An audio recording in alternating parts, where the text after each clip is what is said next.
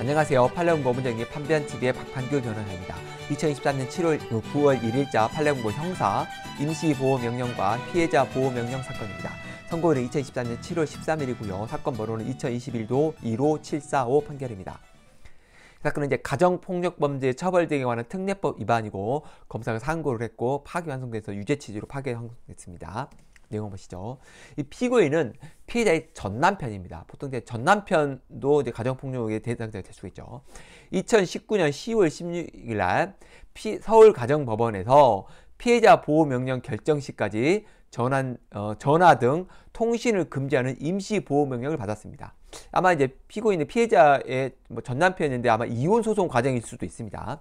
어쨌든 그래서 임시 보호 명령을 받았습니다.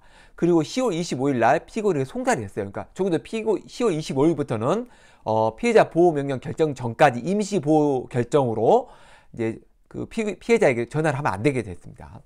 그럼에도 불구하고 피고인은 2020년 1월 9일 날 같은 내용의 피해자 보호 명령을 받았습니다. 그리고 어, 이제 1월 15일에 송달이 됐죠. 그러니까 이제 임시 보호 명령은 10, 10월에 있었는데 이제 요거에 대해서 피해자 보호 명령이 대한 본, 본 절차, 본 절차에서 다시 1월 9일 날 피해자 보호 명령을 받았고 1월 15일 날 송달이 됐습니다. 그런데 피고인이 1월 12일부터 2월 21일까지 14일에 걸쳐서 임시 보호 명령 또는 피해자 보호 명령을 위반한 겁니다. 원심은 임시 보호 명령이 1월 9일 날 피해자 보호 명령이 딱 발령된 그날로부터 임시니까 임시가 결정시까지 아까 돼 있었잖아요. 임시 보호 명령은 피해자 보호 명령 결정시가라고 주문이 되어 있었기 때문에 피해자 보호 명령 결정시인 1월 9일까지만 유효한데 그 이후에 9월 15일까지 그러니까 피해자 보호 명령이 있었던 15일까지 1월 9일부터 요 사이에는 공백이 있다. 공백이 있기 때문에 그 사이에 했던 거 12일부터 어 요거에 대해서 요거에 대해서 효력이 그때 효력이 없고 두 번째 피해자 보호 명령은 항고심에서 취소가 됐어요. 취소됐기 때문에 소급해서 효력을 상실함으로 피해자 보호 명령 위반도 안 된다. 결국은 모두 다해서 무죄를 선고한 겁니다. 그러니까 다시 말하면 임시 보호 명령이 있었던 1월 15일까지 그러니까 그 피해자 보호 명령 1월 15일 이후부터 있었던 것들은 그 피해자 보호 명령이 나중에 취소됐기 때문에 무죄가 됐고 그 이전 거는 피해 임시 보호 명령 자체가 1월 9일 날 끝났고 피해자 보호 명령이 송달되는 1월 15일 전까지는 공백이 있기 때문에 그 당시에 했던 것도 아무런 명령 위반이 아니기 때문에 이것도 무죄. 둘 다 무죄가 되는 거죠. 그러면 이제 이렇게 임시 보호 명령의 효력이 종기돼 종기가 언제냐? 피해자 보호 명령 때까지냐, 그때부터 송달된 때까지냐. 이게 하나 문제고. 두 번째, 피해자 보호 명령 위반 행위에 대한 처벌이 피해자 보호 명령이 항소심에서 취소된 경우에도 그냥 유지가 되는가? 이게 문제가 된 겁니다. 대본에 뭐라 하냐면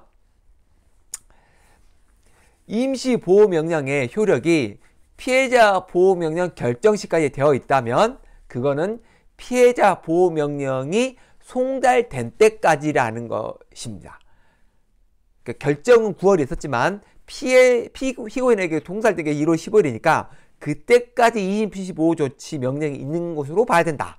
그러니까 고사에 공백이 있는 게 아니다라는 거고. 그래서 1월 15일까지 임시 보호 명령에 효력이 있었다는 거고. 두 번째, 항소심의 취소 결정이 있어도 그것은 절차적 사유로 취소되었기 때문에 단독 재판부에서 환송하는 것이 불가해서 피해자 보호 명령 위반에 대한 불이행도 성립한다.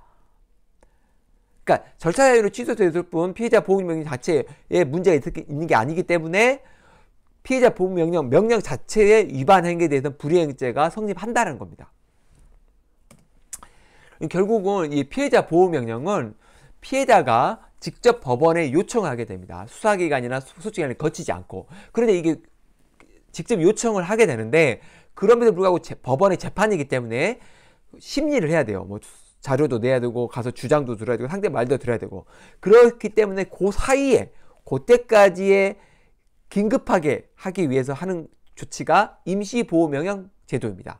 따라서 대법원은 임시보호명령은 이 공백을 메꾸기 위해서 만든 거기 때문에 적어도 피해자 보- 보호명령 결정 시라고 돼 있어도 통달시 때까지를 보는 것이 맞다라고 해서 공백을 없앤 거고요. 두 번째, 피해자 보호명령 위반으로 처벌 될 때 그 처벌은 명령이 절차 위반으로 취소된 경우에는 여전히 위반행에 대해서는 처벌이 가능하다. 이것도 같이 기억하시는 게 좋겠습니다. 이상 마치겠습니다. 감사합니다.